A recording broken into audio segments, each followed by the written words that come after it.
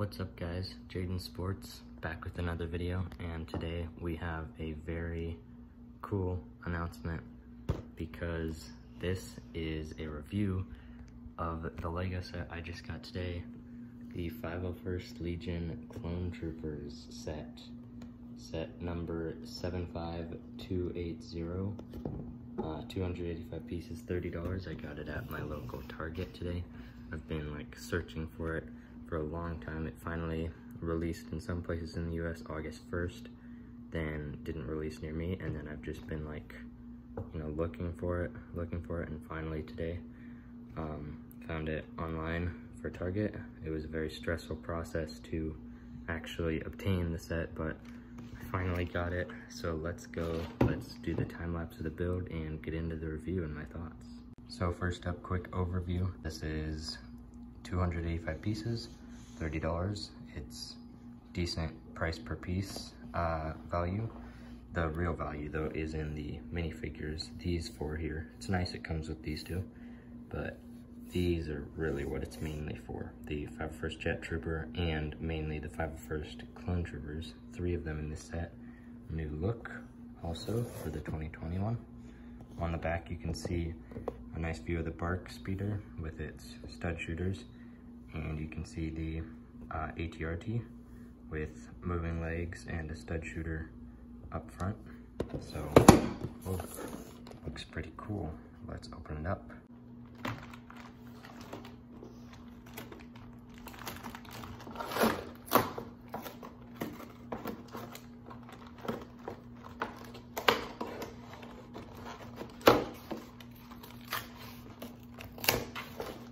Bit of a difficult box to open.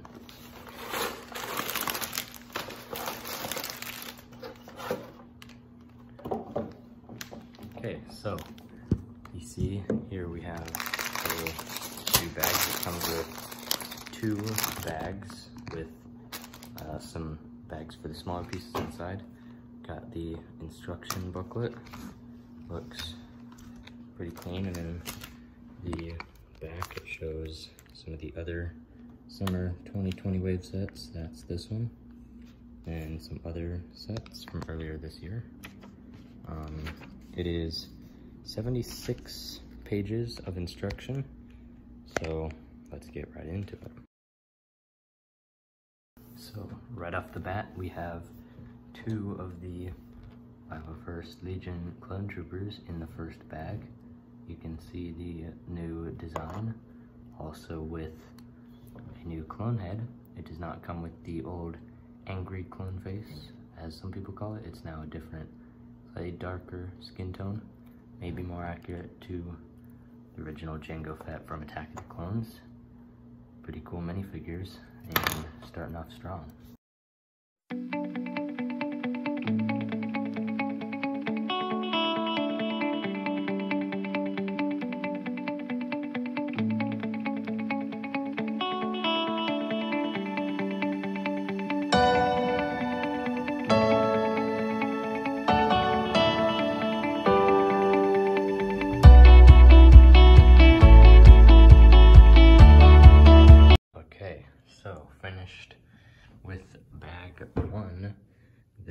What we have so far. We have two of the 501st Legion clone troopers, the two battle droids, and the BARC speeder. Let's take a look at it. So the BARC speeder up front has two stud shooters, and back here it has room to hold two extra blasters, which something cool actually, is that they're in addition to these blasters. The troopers all come with blasters and you can see on there, they all have blasters. Plus on there, there's two extra ones. So that's a bonus of this set is extra pieces actually are some blasters. So you can use those for other troopers you've gotten from battle packs if you don't like the stud shooter look, or just have extras for your new troopers. It has an interesting handlebar mechanism. Haven't really seen this look before. It's kind of cool though. These can turn like that as if you're pushing the handle forward like you see on some speeders in uh, the Clone Wars and real movies. They can move back and forth. And then obviously you can fit a minifigure right here. It can sit down comfortably and BARC Speeder externally looks pretty nice. It has a couple like of those old ski pieces here on the side. And it's actually really long. It's long compared to the Troopers. It's a pretty big speeder build. I think maybe if they had made it like this long, it would have been better. They made it a little shorter, but it looks pretty good. Now on to bag two.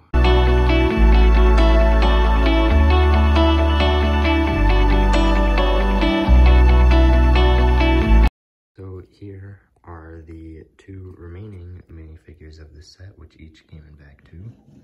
One is another 501st Legion Clone Trooper, sporting the same new updated look with like printing a new helmet and white arms as compared to the 2013 version. This one has a blaster rifle with a piece on the end. It's actually a new looking piece. And here is the 501st Jet Trooper, sporting a different helmet and different torso with blue arms. It also has a blue jetpack on the back, similar to some old Mandalorian ones, like with Boba Fett. Comes with a standard blaster, and yeah, looks pretty cool. Onto the build.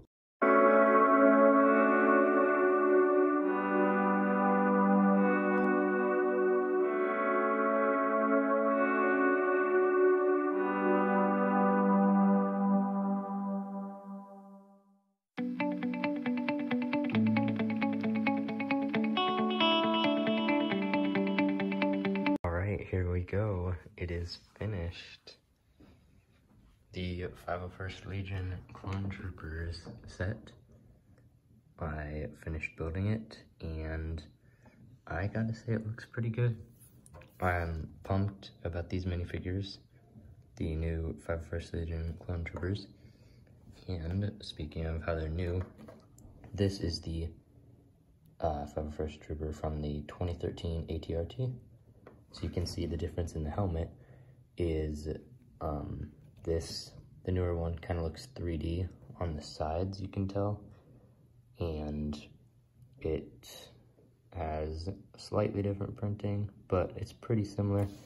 The little mouth thing um, is slightly different, the slope. Then on the body, you can see that the torso is slightly similar, but the biggest difference has got to be the blue arms versus the white arms. The old one, it doesn't look bad. It's, whoops, it's not bad as a 501st Trooper. I mean, I like it, pretty cool. But I gotta say, the new one just looks excellent. Then you can see the BARC Speeder and the two other 501st Legion Clone Troopers, as well as the 501st Jet Trooper, the two battle droids, and the ATRT. Speaking of the ATRT, let's take a look at it. So it's got the stud shooter cannon at the front, which kind of, which has a ball joint similar to an ATDP kind of look. So it can move around like that. You can pose the cannon. Um, you can put one of your minifigures up here and it has these handlebars which don't come off as easily as past versions, so that's nice. It's got some storage compartments in the background, or sorry, the back of the vehicle, those being for binoculars, and then you could put like a blaster on this clip. The legs move nicely, and you can also move the feet joints, and this you can move. There's all types of joints. Then you got the sticker pieces up front, which I'm not extra fond of stickers but they included 10 stickers in this thing. You can see them on the legs, especially up front. This was the only printed piece, that being the control panel. I would have liked to seen more printed pieces rather than having to put on a bunch of stickers. You can see I did find on some like this one pretty straight. Didn't do as well on others like that one. Pretty cool ATRT. Now let's compare it to the 2013 version. So at a glance, there's not a huge difference between the two. You can see this one is bulkier up here and has a different cannon. Um, the toe flaps for the feet are slightly different. The coloring is a little bit different, but there's not a humongous difference, especially in size. They're pretty similar. You can see they're about the same size. They have the same type of leg function as the older version. The older version has a different handlebar thing and it doesn't have a control panel like the newer one does. The front of this new one has stickers and you can move these. The older one actually, it has some stickers and some printed pieces. You can see right here, there's a sticker for the 501 and you can definitely see the difference between this front and this front. It's bulkier, it's got more pieces than this. This is kind of a thinner version because this set also came with the BARC speeder. These move also pretty similar around back. There are no clips, whereas in the 2020 version, there are some clips holding the binoculars and a blaster. This, you can see these pieces supposed to be like joints, but they're not connected to anything. Neither are the new ones right here, but they're held in place by this bar in the front. The stud shooter cannon is just attached like I showed earlier in the ball joint, so it can move. This one cannot move up and down, but it is a longer turret versus the stud shooter. Some people might not like the stud shooter look and they might change. They might like stick this cannon onto here. Maybe you could like mod it. This cannon swivels from side to side like so, but does not move up and down. This with the ball joint can move in pretty much any direction. So yeah, that's the comparison and pretty similar. I will say I do like the older version um, having a little bit bulkier up front. The newer version just looks kind of skinnier. Maybe if you push these out and maybe add it a little bit, you could make the front look a little bit better. But it actually isn't bad. It's a nice compact version. I do like the clips on the back and the new cockpit area. The stud shooter cannon, not my favorite, but I do like the ball joint as compared to this. Pretty cool.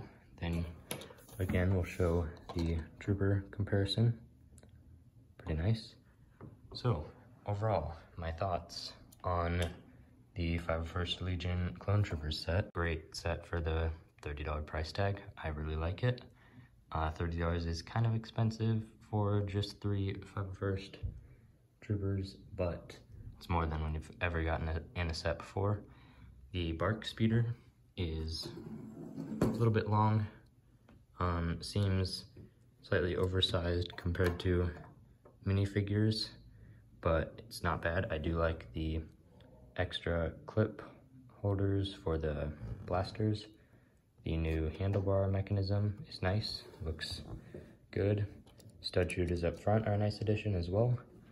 ATRT has a nice cannon with the swivel joint. Um, control panel and the cockpit is nice. Clips on the rear end. Legs, just like with the old one, they move just fine. There's no problems with that. The only thing is it can't move forward because of this, just the way it's built, but same for the old one. So, looks pretty cool. But the minifigures is really what you're kind of getting the set for.